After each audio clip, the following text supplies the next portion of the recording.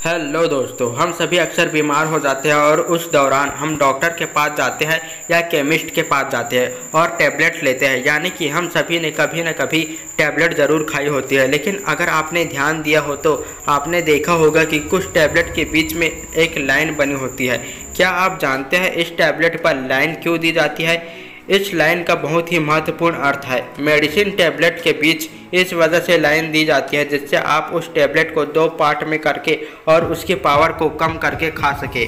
और आपको बता दूँ कि ये लाइन हमें ज़्यादातर सिर्फ़ हाई पावर के टैबलेट में ही देखने को मिलता है, जिससे कि अगर हमें कम पावर के टैबलेट की ज़रूरत हो तो हम उसे हाफ़ या बीस से तोड़ के खा सके। जैसे मान लीजिए आपने कोई टैबलेट ली है जो हज़ार एमजी की है। और डॉक्टर ने आपको 500 सौ लेने को कहा है तो ऐसे में आप उसे हाफ़ करके लेंगे।